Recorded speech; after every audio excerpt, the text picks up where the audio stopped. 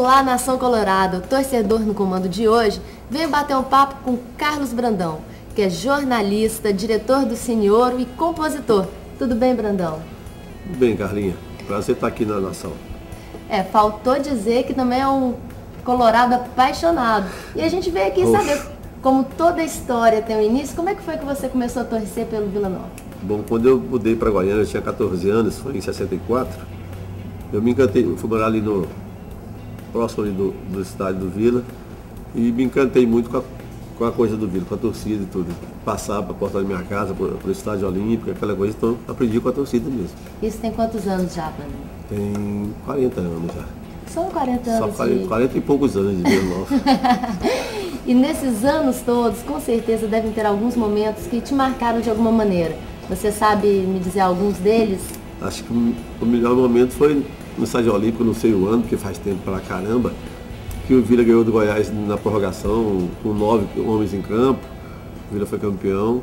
A decisão do campeonato goiano de 73. Atenção, torcida. É Elinho. Vai bater o primeiro penal para o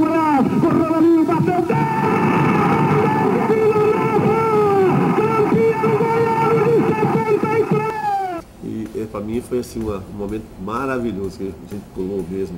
A gente sempre pulava para o Alambrado, né? Essa molecagem já era uma, uma, galera muito, muito pesada, então a gente sempre pulava, mas nesse dia a gente pulou com, com gosto mesmo. E os grandes ídolos do Vila para você? Eu, eu gosto do, dos jogadores do, do, Vila, assim, daqueles jogadores, quando, quando o Campeonato Brasileiro não, não matava o regional, eu gosto do regional. Gostava dos campeonatos regionais, aquela coisa, sabe, das rivalidades. Eu acho que o Campeonato Brasileiro veio para matar os regionais. Você vê hoje, é, é, estado que tinha quatro, cinco, seis times, hoje não tem, tem um, dois. Então, assim, e, e, e, então isso matou. Então os, os meus grandes ídolos eram Fernandinho, Guilherme, aqueles caras, quando o, o regional ainda valia a pena. Hoje não vale a pena você ver regional. Nesses anos todos de estádio, de, de oba, você deve ter visto muita coisa interessante, deve ter muita história para contar. Você lembra de algum momento inusitado, interessante para falar para o torcedor aqui também? Eu lembro de alguns instantes, mas assim, tem um instante que eu acho muito interessante, que era um, um jogo do Vila de Goiás no, no Olímpico. E eu, tava eu tava, tinha saído do Senac, fazia um curso no Senac, e estava do lado do torcedor do Goiás, eu não sabia que era o ser Goiás, era uma torcida grande do Goiás. E eu ficava gritando e, e, e ofendendo mesmo, né? Com gosto. E, e aquilo, na hora que o Vila terminou o jogo, terminou o jogo, o Vila ganhou, eu pulei o alambrado e o cara perguntou um amigo meu assim, mas cadê aquele magrelo que estava aqui? Eu queria dar uma porrada nele. Então assim, tem essas coisas interessantes, né?